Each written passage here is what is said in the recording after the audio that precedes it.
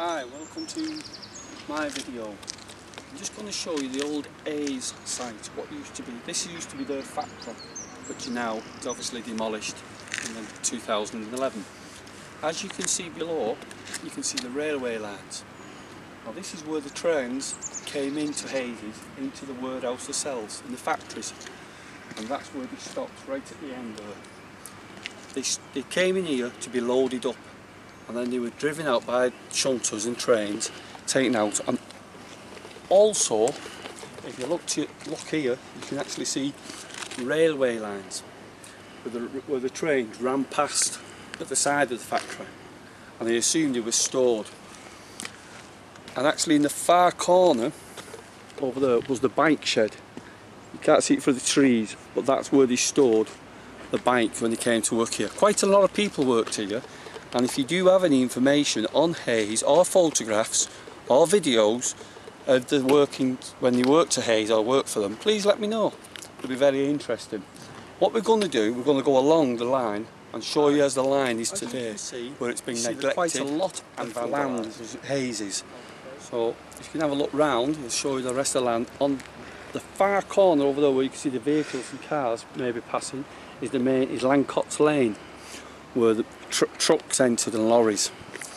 As you can see here, which all flooded now, was the main line out towards St Helens, which is obviously now underwater and neglected. So we'll go further along the line and we'll show you more of the line near Peas across where Morrison's is. Okay, fence inside, as you can see in the, the, you see in the video where the train comes, this used to be a scrap yard.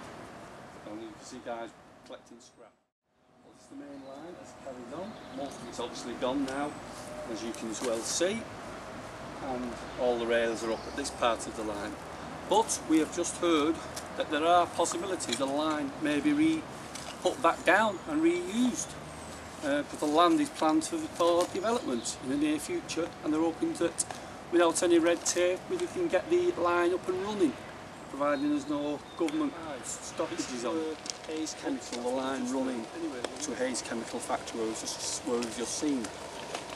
And if you look, the line continues over under Morrison's Bridge where the Morrison's supermarket is, going back many years where the old Sutton Oak shed was. And you can see the line goes under the bridge and also this line here which is now derelict used to run all the way along through the trees there and that carried on all the way to Sutton.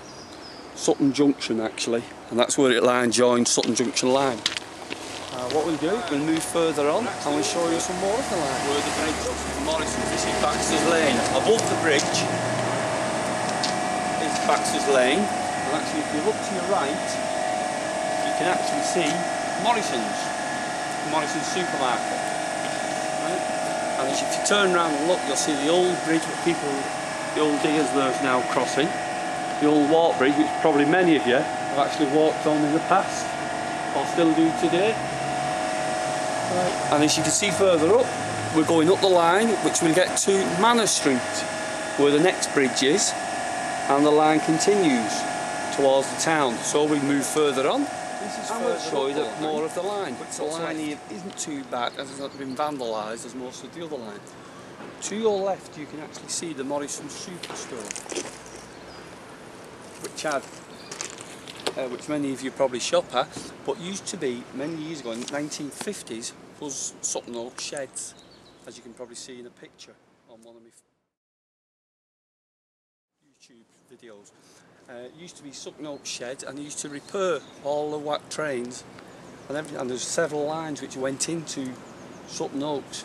It was then closed down in the 50s and, and I believe was taken over by Whelan's supermarket before uh, Morrison's moved in oh, and revamped the store. You've got um, Sutton Road on your right hand side and looking straight ahead you can actually see Sutton Road Bridge which leads over to Peasley View. And as you can see the railway line here the undergrowth is starting to take over it. So eventually this line will be very difficult to walk through.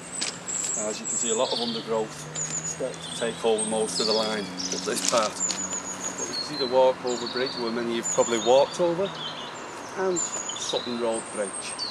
And then Right. further on you've got Jackson Street. Sutton Road we Bridge. continue along. You see a section of line where the line's actually split into two.